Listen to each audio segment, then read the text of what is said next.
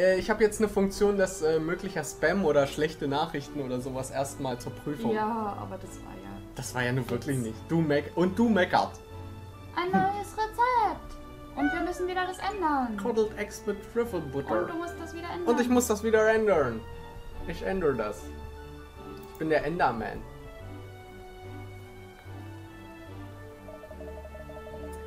Ähm. Okay, das war ziemlich beeindruckend. Sprechen Sie jetzt mit uns? Ich würde nämlich gerne erfahren, was Sie von der Verführung, Vorführung heute gemacht haben. Gut, alles klar. Ich war natürlich hier drin und habe überprüft, ob alle meine Geräte auch einwandfrei funktionieren. Sie waren also auch. Sie waren es also auch, der den Film abgespielt hat?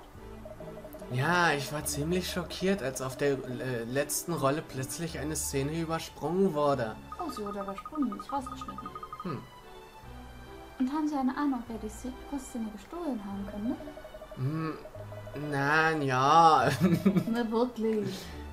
nicht wirklich. Ich meine, es ist eigentlich egal. Es ist doch nur ein Film, um Himmels Willen. Ja, da Sie es schon ansprechen, Mr. Rawlings. Obwohl Sie in einem Kino arbeiten, scheinen Sie Filme nicht besonders zu mögen. Kann man das so sagen? Nein, ja, äh, natürlich. Ich liebe eher die Geräte. Albertina und Rosalinda sind mir tausendmal lieber als irgend so ein blöder Film. Außer er handelt von...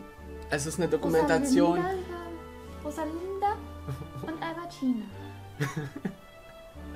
Ja, am Ende mit einer Kussszene. And now kiss. Wahrscheinlich hatte der Oh, das erinnert mich er daran. Die Filmrolle angeknabbert hat. Was? Wahrscheinlich hatte der Vogel so viel Hunger, dass er einfach die Filmrolle angeknabbert hat. Boah. Das ist... Das könnte sein. Ja, eben, das wette ich auch. Ja. Oh Mann. Äh, oh, das erinnert mich daran, dass ich Belinda noch sauber machen muss. Man kann ja seine Ersatzausrüstung nicht einstauben lassen, nur weil man sie gerade nicht benutzt. Er sollte denen keine Mädchennamen geben, wenn er sowas sagt. Auch nicht Jungs. Was?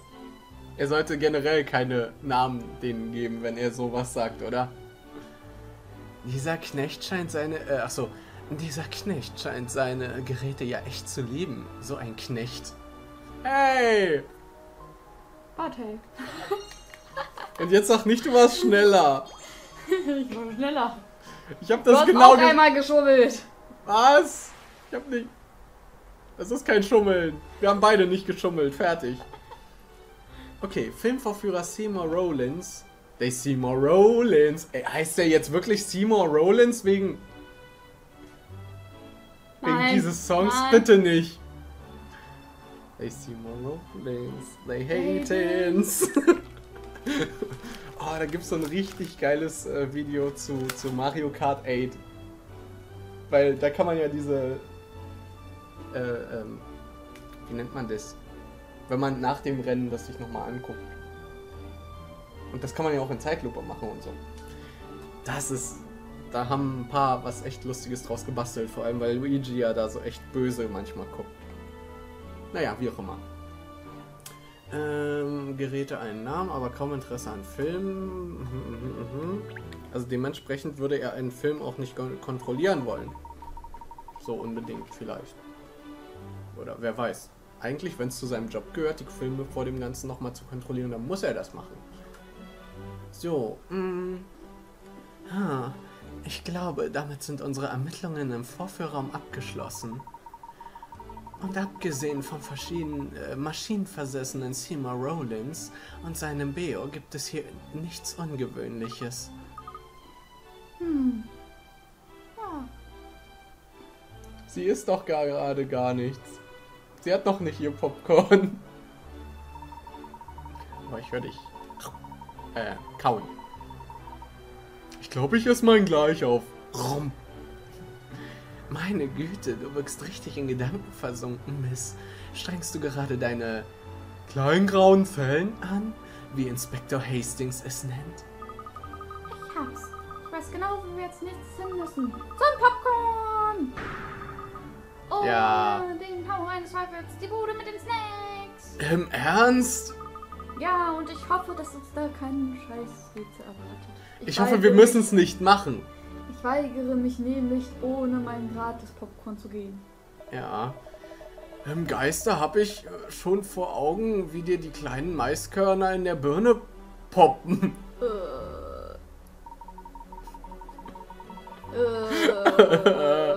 Warum, warum denkst du denn sowas bei dem Wort poppen? Äh, nee, das denke ich gar nicht. Was denkst du dann? Ich denke, wie Maiskörner in ihrem Gehirn poppen. Ja, eben. Aufpoppen.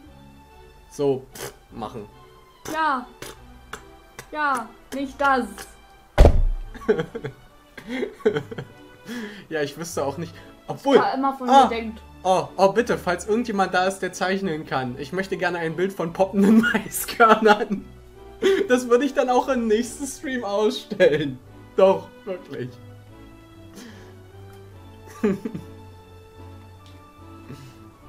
okay, ähm.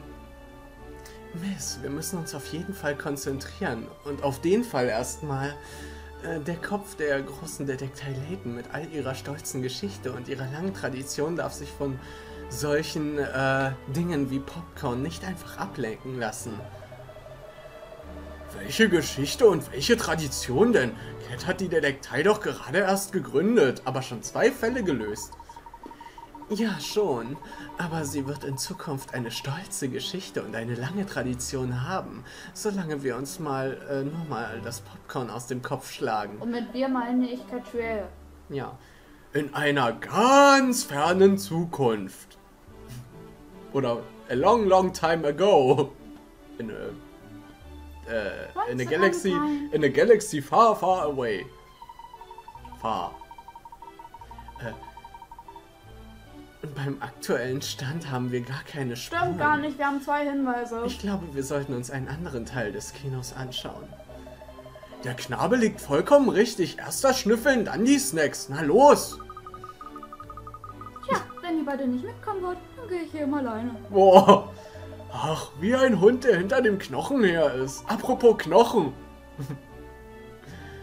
ähm, wenden wir uns wieder dem Fall zu. Wahrscheinlich gibt es hier auch irgendwo einen Filmeditor, oder nicht? Oh ja, Sony Vegas oder Camtasia würde ich empfehlen. Oder, nee, Magix nicht, kenne ich nicht. Ist das jetzt Schleichwerbung? Nein. Gut. Wir sollten schauen, ob wir ihn befragen können. Oder sie. Ein guter Gedanke, Nadelstreifen. Voll auf Zack. Also, wie finden wir diesen Cutter? Kutter. Kutter? Du willst, dass wir auf einem Schiff suchen? Der heißt Cutter. Ehrlich. Ach so. Wegen dem Wort Cut. Ja, ja, aber ich dachte eben, gibt's nicht auch irgendwie so ein. Es gibt das Wort Kutter, das wird aber mit K geschrieben. Gibt's aber nicht so ein Sprichwort nach dem Motto so. Wie. Wohin wir den Kutter oder so? Das, das weiß ich nicht, kenne ich nicht. Tut mir leid. Aber wenn ja, dann. Ja, äh, 16 zu 15 für dich. Warum auch immer. Also 16 zu 14 nach der offiziellen Ja. Und, und 16 zu 15 nach äh, unserer jetzt festgelegten. Ja. Schau mich nicht so böse an. Ich schaue das nicht böse an. Ich schaue gar kein böse an. Ich weiß, aber man sieht es halt nicht in der Kamera, deswegen kann ich sagen, dass du es tust. das sieht man jetzt wieder, also. Gut, machen wir weiter. Ähm, nun, ich schätze, wir könnten Mr. Rollins fragen. Ich habe keinen Bock, euch zu antworten. Entschuldigen Sie, Mr. Rollins, wir würden gerne mit jemandem sprechen, der für den Schnitt des Premierenfilms zuständig war. Oh. Äh. Sie meinen. Äh, Sie meinen Filmcutter. Film-Cutter? Filmcutter. Ja, eben. Das ist Ah, traurig. Oh, ich hab dir das, ich. Alles in Kutter? Nee, alles in Butter kenne ich. Ja, ich ah, stimmt, ich habe dir das noch gar nicht erzählt. Ich habe jetzt einen neuen Cousin. Du hast einen neuen Cousin? Mein Onkel hat ein neuen, neues Kind. Der hat ein Kind gekriegt. Ja. Mensch, das wusste ich gar nicht. Und der ist Phil. Ist der auch irgendwas mit M als Zweitname? Weiß ich nicht. Also auf jeden Fall. Und er heißt nicht mit Nachnamen Cutter, das wäre nee, ein bisschen und das, komisch. Also sein Bruder ist der York. Alles Buddha auf dem Kutter kenne ich als Sprichwort. Ah, stimmt. Das ist alles in Butter auf dem Kutter oder? Ja. Alles in Butter, ja. Jo, äh, nee, wie war das? Ja, äh, also York hat und äh, jetzt hat er einen kleinen Bruder namens Phil. York, ja. Ich weiß, ich weiß warum äh, Phil, wegen Philadelphia, dem Ort in Amerika. Deswegen, Und deswegen- New York und Philadelphia. Hm. Und wie heißt dann der nächste? Diego? Ich hoffe, dieses Mal wird es ein Mädchen. Dann wird es wahrscheinlich eine Franziska. Hoffe ich mal. San Francisca. Ja, ja. Nee, ach so, ah nee, nee, Moment. Eigentlich müsste es wieder ein Junge werden und dann wird er Francisco, denn dann ist er der Sohn Francisco, also San, Nein. San Francisco. okay. Wir sollen einfach aufhören, Ja. Kinder zu kriegen. I, Kinder, genau, steht schon da. Ja, okay. Ja. Er ist der Schnitttechniker. Rektors berühmter Schnitttechniker. Ja, er ist einer der erfahrensten Mitglieder, äh, eines der erfahrensten Mitglieder von Rektors Crew. Er war heute wegen der Vorführung hier. Und da es die Aufgabe des Filmeditors ist, den Film zu editieren und zusammenzufügen und zu schneiden und so weiter, sollten wir wohl auf jeden Fall mit ihm sprechen. Er könnte etwas über die verschwundene Kussszene wissen. Oh, hier aus dem Chat. Hm, Kinder, lecker. Ja, doch, äh, Kindercountry ist ja leider bei uns schon leer. Du hast das letzte gegessen. Ja, aber ich habe dir auch nur eins übrig gelassen. Und weil du es äh, mich damit abgeworfen hast. Ich hab dich nicht. Ich hab. Das ist neben dir gelandet. Ich hab's nur zu dir knapp rübergeworfen. vorbei. So knapp, So knapp vorbei. so knapp vorbei. So knapp vorbei. Gut, dass du es nochmal in die Kamera gezeigt hast. Sonst hätte ich. So knapp vorbei. Sonst hätte ich das gemacht. So knapp vorbei. Nein. Okay, weiter. Ich glaube, wir sollten mal uns auf das Ja. Spiel konzentrieren und nicht auf Popcorn oder Kinder Ja, los. Country. Wo können wir ihn denn finden? Gute Frage. Ich habe keine Ahnung, wohin er nach der Vorführung verschwunden ist. Vielleicht äh, ist er immer noch im Kino. Ziehen wir los und fragen wir herum, ob ihn jemand gesehen hat, Miss. Ja, hauen Sie hier ab. Sobald ich mein Popcorn habe, machen wir uns auf die Jagd nach Mr. Cutter. Gib auf, Cat! Niemals! Ich will meine Schokolade! Ich will meine Schokolade. Was? Ich will lieber keinen Mann. Kennst du das Lied nicht? Das geht anders, aber. Nein, äh, eigentlich, ich will keine Schokolade, ich will lieber einen Mann. So geht das Lied. Das ist alt, sehr alt. Äh, Schlager. Nee, ich glaube, es war eher so neue deutsche Welle, glaube ich, oder sowas. Also nicht ganz Schlager. Okay. Ach, vielleicht ist es langfristig gesehen schneller, wenn wir einfach zur Bude gehen und diese Sache aus dem Weg schaffen. Na schön, Miss, du hast gewonnen. Jetzt gehen wir erstmal zur Bude. Popcorn! Übrigens, wir müssen ja das Rätsel noch lösen, ne? Nein, Doch, welches? das Rätsel an der Popcornbude. Müssen wir? Ja, wir sollten mal. Und dafür gibt es übrigens keine Punkte, weil. Also jetzt erstmal keine mehr, oder? Wie, auf welches bezog sich denn das mit dem. Nein. Krieg ich dann eins für die Maus? Nö. Was? Wieso? Weil. Ich hab's schneller eingetippt. Was, Maus? Ja.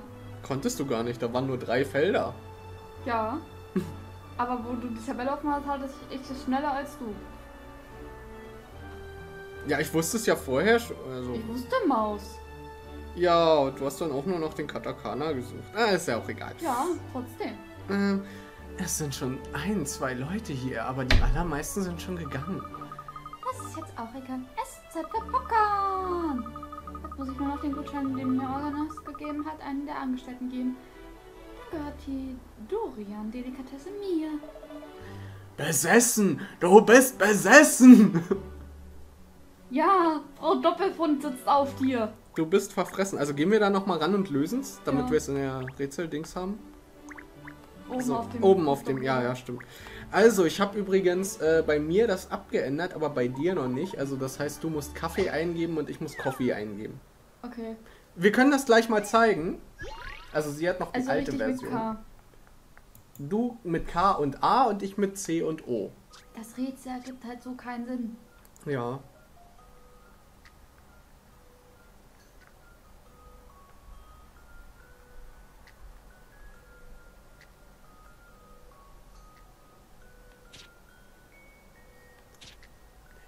Siehst du? Ja. Ah, warte mal, du, du, ich muss Kaffee eingeben. Huch. Hey, du musst Kaffee eingeben, oder? Nee, du hattest gerade Kaffee, oder? Nee, ich hatte Kaffee. Du hattest Kaffee? Ich hab Kaffee. Ach so, ich muss Kaffee. Ja, stimmt. Kaffee ist ja nämlich die eigentliche richtige. Ja, du hast es doch eben gesagt, dass du Kaffee eingeben musst Stimmt. nicht Kaffee. Stimmt, weil deine ist die in fäl- fälschlicherweise übersetzte Version und meine Ja. ist die äh, Originalversion, weil ich es Ah. dann geändert habe. Also. Aber ich habe das mit den japanischen nicht hinbekommen. Also Maus Ja. können wir immer noch nicht ja. lösen. Okay. Alter. Und ich Wenn war man schon... kurz auf meine Idee hören könnte. Nö. Keiner will deine Ideen. Ja, von, von Trude Herr ist das Lied, keine Schokolade. Ja, wir werten die beiden einfach nicht. Ja. Und wir machen dann. Ah, übrigens, falls wir dann auf andere Rätsel stoßen, müssen wir die ja noch machen, wenn. Also, ich, ich werde mal, wenn in zwei, drei Wochen das Spiel endlich richtig da ist. Ja, ja, dann werden wir das wiederholen. Jo, und äh, dann werde ich auch Rätsel überspringen, die auf einmal anders sind. Ja, ja. Außer sie gehören zur Story, dann kann man nichts machen. Ja. Ne? Aber, denk Aber, aber wenn ich passieren. eins sehe, wenn ich eins sehe, was wir nicht hatten, Ja, ja. dann gehe ich da, breche ich das sofort ab und dann können Ja, wir das im Mhm, Nachhinein machen. mhm, machen. Alles klar. Okay. Okay. Hoch die Tassen. Auf dem Ähm. Schild steht Coffee. Da steht es sogar. Coffee. Ja! Du musst die Buchstaben verdoppeln und dann den Teil des ersten Buchstabens. Das äh, wussten wir! Ja, eben. Und ich hatte es eigentlich sogar vor dir. Oh. Aber wir werden es ja nicht.